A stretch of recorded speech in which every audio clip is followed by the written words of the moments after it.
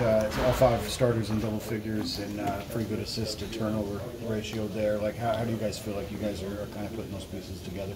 Um, we're coming along. You know, uh, like I said it the other day, we've been working extremely hard, offensively, defensively, just trying to get this thing together. You know, especially for me, just trying to, you know, learn that offense, get all the way down pat. You know, know where I'm gonna get my shots, know where I can get guys shots from. Um, you know, it's been been a great two weeks. You know, it's it's always better when you get a chance to go out there and play for real. Does it feel pretty comfortable, or is there other parts of it that you're still trying? Yeah, to no, no, it's, it's it's comfortable. Now it's about just getting that consistent rhythm. You know, and the more we play, the more opportunities we get, the easier it becomes. This um, he was about to start getting hot in those three-point area early in the game, but at some point, you know, your guys, you know, chilled on them. Yeah, on yeah. that. Can you talk a little bit about Yeah, that? we, we just understood, especially just playing them the other day. Um,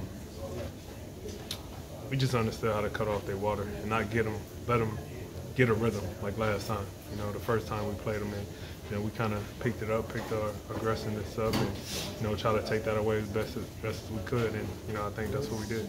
Also, uh, you guys were leading 78 to 70 before all the starters came out. Yeah. Really getting comfortable with each other Yeah, it's, yeah, it's coming along. Like I said, the more we play, the more preseason go along, and the more we, you know, play more into the game, you know, um, a lot easier it's going to be for us. Keegan had five steals today. I know you like seeing that. Yeah, and he got to the free throw line. You know, um, I was preaching that to him. You know, just being aggressive, him get to the free throw line. So, you know, it's big for him. Right. Thanks, Demar.